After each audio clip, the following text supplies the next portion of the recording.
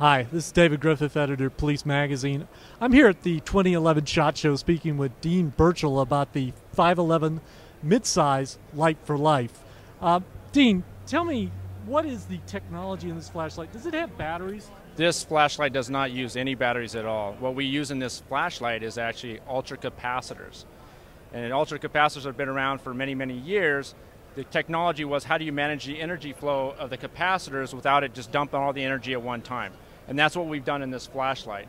You know, the two key features of this flashlight is this flashlight will recharge over 50,000 times and recharge in only 90 seconds. 90 seconds? That's astounding. Now, um, when you run the flashlight totally down and recharge it, uh, it takes only 90 seconds. But what if you leave it in the, the charger for more than 90 seconds? It will not hurt it at all. Like a battery flashlight, you cannot do that. That would uh, ruin the batteries. Battery life would be dropping down. It actually helps the uh, capacitors in this flashlight if you leave it on the charge at all times. And what are the, some of the features of the flashlight itself? I, I, realize it probably has a low power and a high power. What are some of the other features, and how powerful is it?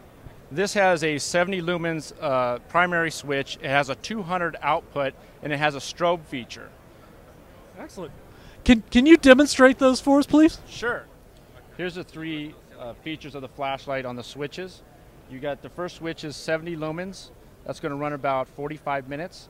If you hold the switch down on this model, it'll go out to 200 lumens. That'll go about 12 to 15 minutes. And then if I double click the switch, it'll actually go into strobe mode at 70 lumens for about 45 minutes. So after doing all that, you do have a tail switch as well to do all the same features. Here's the the charger unit that has a magnetic uh, catch here that when you get the flashlight next to it, it pulls it into the charger and then all of a sudden you'll see the charger starting to blink blue. Once that light goes solid blue, you'll have a fully charged flashlight ready to go for the next uh, stop or operation that you're going to perform.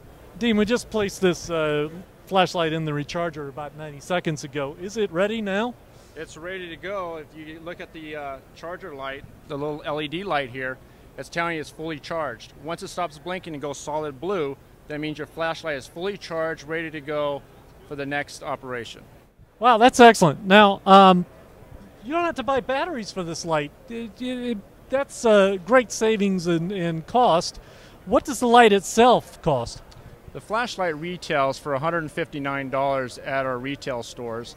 It actually comes with an AC/DC charger and the flashlight, uh, all in one package.